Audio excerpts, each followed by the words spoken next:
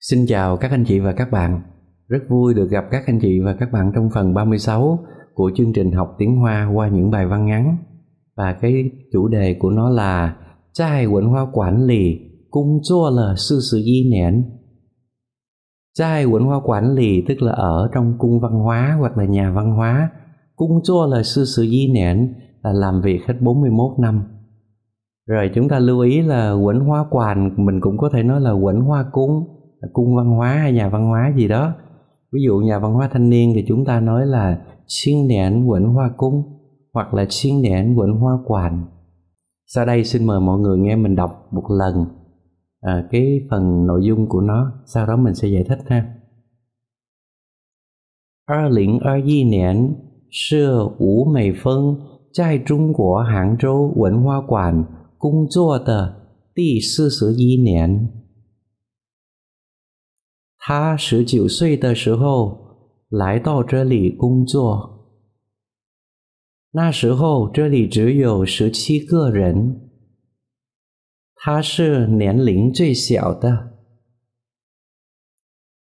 他的工作很多，每天都很忙，但是他很快乐。因为他非常喜欢这个工作，他还喜欢和朋友们一起喝咖啡、看画展。他说这个工作让他非常高兴。Đó là cái nội dung của cái phần 36 này. Sau đây mình sẽ giải thích cho các anh chị nội dung chi tiết nha.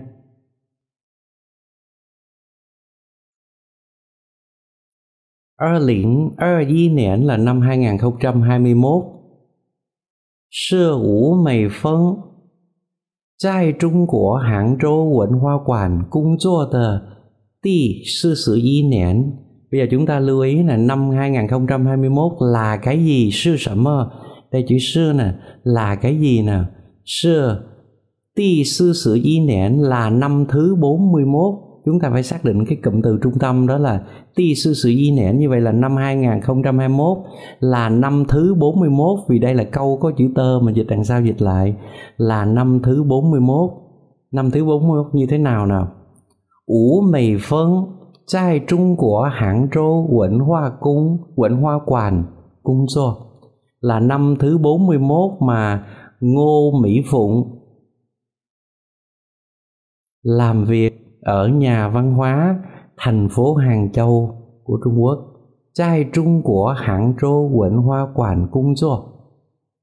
Như vậy nếu mà mình dịch nguyên một cái đoạn này thì chúng ta sẽ dịch là năm 2021 chính là năm thứ 41 mà Ngô Mỹ Phụng đã làm việc tại nhà văn hóa của thành phố Hàng Châu, Trung Quốc. Tiếp nữa, 他十九岁的时候 Sử hô.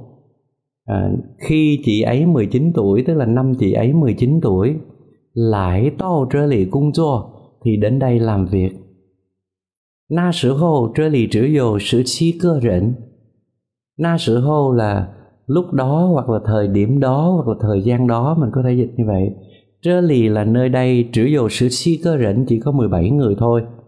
Tha sư nén lĩnh chơi xẻo tơ tức là tơ rễn chị ấy là cái người mà tuổi nhỏ nhất, nhỏ tuổi nhất. Tha sư nén lĩnh truy xẻo đó tha tờ cung chua tố. Tức là tha dỗ hành tố cung chua cũng được. Công việc của chị ấy rất nhiều, tức là chị ấy có rất là nhiều việc. Mày thiên tố hành mãn mày thiên tố hành mãn mỗi ngày đều rất bận rộn. Tan sư tha hình khoai lơ nhưng mà chị ấy rất là vui vẻ tan sư tha hình khoai lơ Yên quê tha phấy sáng xỉ hoan trước cơ cung chua bởi vì chị ấy vô cùng thích cái công việc này tha phấy sáng xỉ hoan trước cơ cung chua tha hải xỉ hoan和朋友们一起喝咖啡看画展tha hải xỉ hoan chị ấy còn thích thích cái gì nào 和朋友们一起喝咖啡、看花展，cùng với bạn bè uống cà phê, à, xem triển lãm tranh. Tức là chị ấy còn thích xem triển lãm tranh hoặc là uống cà phê với bạn bè à, nhiều người tới thì chị vẫn tiếp ở đó 他说这个工作让他非常高兴 chị nói cái công việc này 这个工作 khiến cho chị răng tha là khiến cho chị phi chẳng khoai lơ à, rất là vui phi chẳng cao sinh cũng được rồi sau đây thì xin mời mọi người nghe mình đọc một lần nhé à, thôi thì mời mọi người đọc theo mình trước đi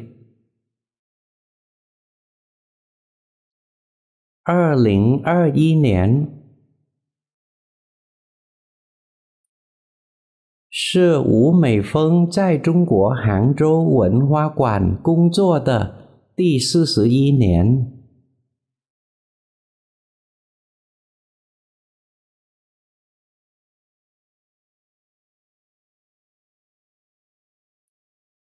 他十九岁的时候来到这里工作。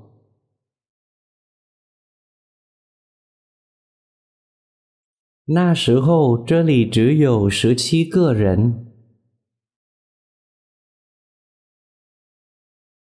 他是年龄最小的。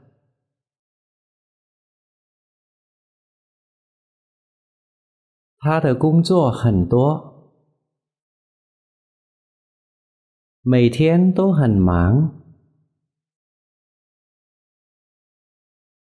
但是他很快乐。因为他非常喜欢这个工作，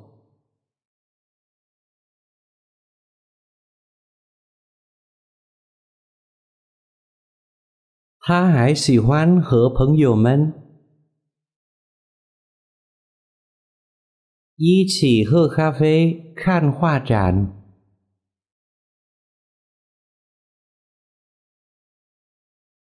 他说：“这个工作让他。”非常快乐。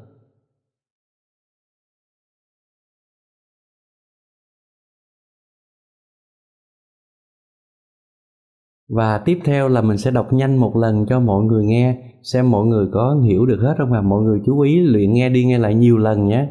Để cho chúng ta nghe cho thật là nhuần nhuyễn Và đọc đi đọc lại nhiều lần nữa thì chúng ta mới kể là tốt được. Sau đây mình sẽ đọc nhanh hơn một chút cho mọi người nghe thử. Trước khi kết thúc bài.